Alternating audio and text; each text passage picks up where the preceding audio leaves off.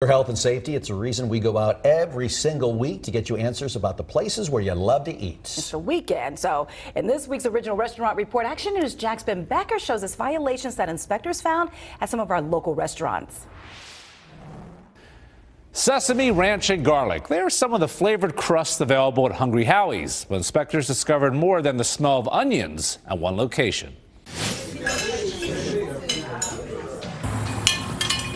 I paid a visit to the Hungry Howie's, Southside Boulevard near Anders. You passed the follow-up inspection. Yes, sir. Yes, sir. Inspectors say they originally found an objectionable odor in the establishment, potentially hazardous food temperatures, and an employee with an ineffective hair restraint.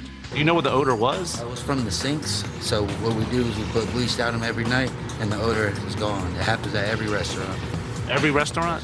I reached out to the state, and I was told bleach is allowed to be used as a cleaner in a sink. Elsewhere, the Bent Creek Golf Club was cited for food with mold-like growth, potentially hazardous food temperatures, and the floor soiled with accumulated debris. Inspectors say the Bono's on US 1 near Lewis Point Road in St. Augustine had live small flying insects in the kitchen. No proof of required employee training, and the hand wash sink was not accessible for employee use. Our final stop, the Carrabba's on State Road 312 near US 1, was cited for potentially hazardous food temperatures.